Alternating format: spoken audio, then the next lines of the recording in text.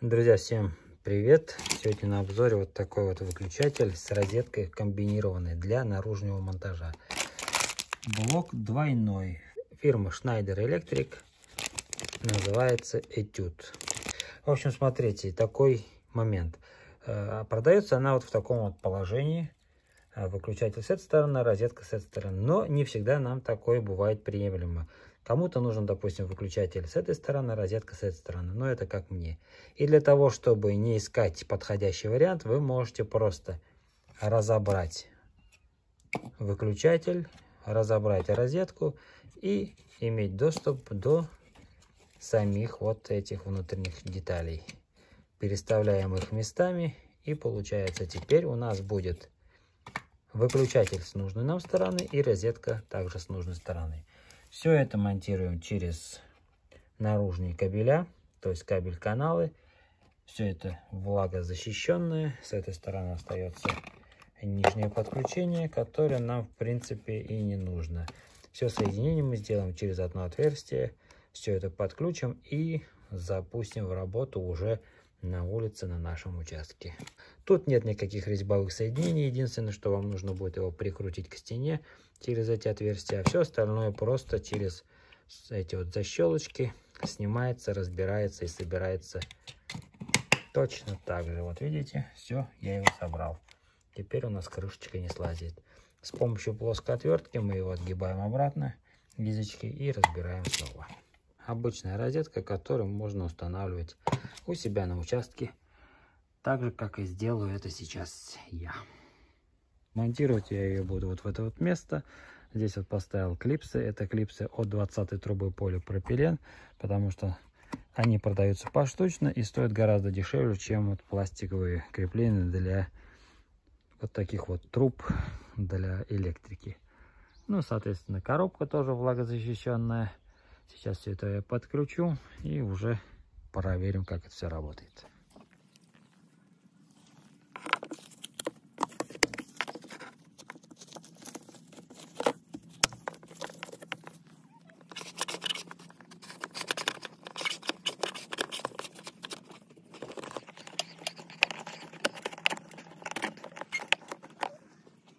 Итак, давайте сейчас рассмотрим, как из трехжильного провода можно сделать подключить розетку и выключатель. Для того, чтобы сделать нам выключатель, мы жертвуем вот этим желтым проводом. Это у нас обычно идет земля. Подключаем к розетке фазу и 0. Это у нас фаза белый провод, 0 синий провод. И от фазы, от белого провода идем проводом к выключателю. И уже от выключателя по желтому проводу мы поднимаемся фазы к коробке. И там уже будем делать распайку на освещение. Так, сейчас соберу и покажу, как это будет выглядеть. Итак, после сборки у нас все выглядит вот таким вот образом. 0, синий провод пришел на розетку, фаза пришла на розетку и фаза от розетки ушла на выключатель. Пройдя через выключатель, через желтый провод, фаза поднимается уже в коробку. Все, здесь у нас схема подключения закончена. Теперь мы можем закрыть все крышечкой и перейти уже в коробочку.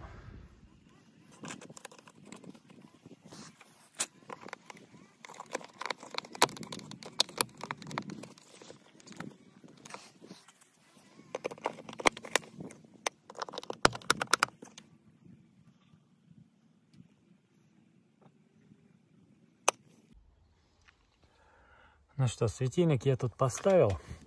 А, так вот, два провода, которые идут от светильника, они заходят тоже в эту коробочку. Вот они, две штуки. Это два питающих провода, а вот это вот идет у нас на розетку и вот эта возвратка с выключателя. Смотрите, он один у нас тут зеленый, это земля бывшая. Сейчас она у нас уже идет как основной питающий провод для светильника. Эта земля у нас просто так.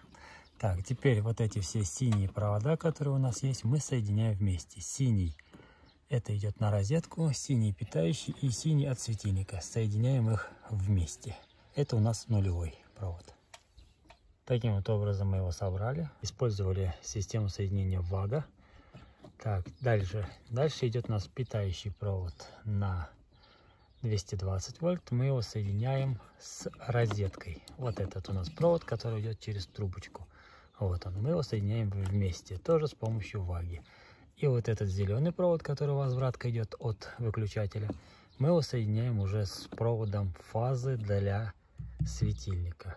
И после подключения вот таким вот образом у нас должна работать розетка и выключатель должен включать вот этот светильник. Пробуем. Включаем автомат и идем проверять. Еще раз смотрим, все провода соединены правильно. Здесь у нас зеленый от выключателя и белый идет на светильник. Нули все вместе, фаза на розетку и питающая фаза тоже вместе. Все, теперь включаем выключатель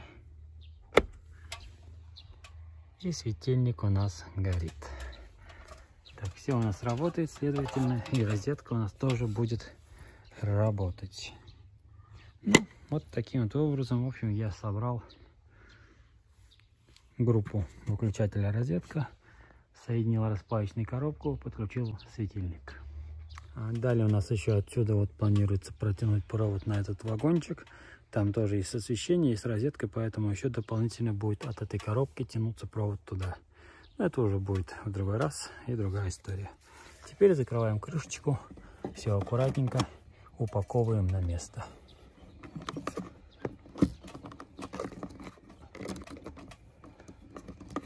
Короче, как-то так.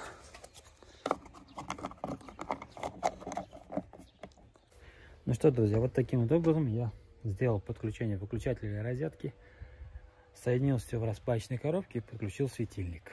Вот. Вроде все очень просто и доступно для любого, кто хочет самостоятельно это сделать. На этом у меня все. Если было полезное видео, ставим пальчик вверх.